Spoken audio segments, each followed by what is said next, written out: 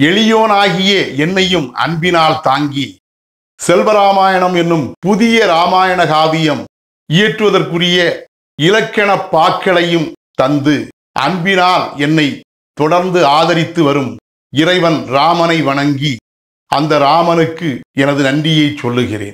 செல்வராமாயண காவியத்தை தொடர்ந்து ஆதரித்து வரும் அன்பு நெஞ்சம் கொண்ட அனைவருக்கும் எனது அன்பான வணக்கம்.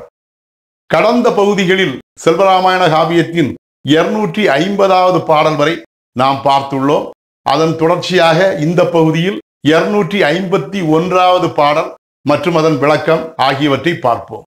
செல்வராமாயணம் மிதிலை பருவம் பரசு ராமன் காலம். உனது வீரம் மெய்யானது எனில் எனக்கு அதை காட்டுவாய் என்று பரசுராமன் ராமனிடம் கூறுதல். பாடல் எண் இருநூற்றி ஐம்பத்தி ஒன்று. குரலிலும் தீ குவிந்தது போல் கோமகன் முன் ஈனன் என்று. அரபம் என வாய் திறந்தோன் அனல் எழுப்பும் பானம் உரம் மிகுந்தோன் என்றதே ஊர் உன்னை வீர வாணன் என்று. தரமதுமை எனில் காட்டு உன் தகுதி என்றான் ஆணை என்று. இதுவே அந்த இருநூற்றி ஐம்பத்தி ஒன்றாவது பாடல். இந்த பாடலுக்கான விளக்கத்தை காண்போம். குரலிலும் தீ குவிந்தது போல் கோமகன் முன் ஈனன் என்றே. என்ற வரிக்கான விளக்கம். தனக்கென்று குரல் எதுவும் இல்லாத நெருப்பென்னும் தீயும் கூட வெறுப்பு என்னும் சீற்றத்தின் காரணமாக ஓங்கி ஒலிக்கும் பெருங்குரலை பெற்றது போல் தனது குரலிலும் கூட தீயே மலை போல் குவிந்து காணப்படும் தன்மையுடன் பரசுராமனானவன் தான் பெற்ற அந்த ஓங்கிய தீக்குரலிலே அலறி கூவியவனாய். கோமகன் என்னும் தயரத மன்னன் மகனாகிய ராமனின் முன்னர் கொடிய தன்மையுடன் இழிவான பண்புகள் கொண்டவனாக தோன்றி நின்ற வண்ணம் அரபம் என வாய் திறந்தோன் அனல் எழுப்பும் பானமென்றே.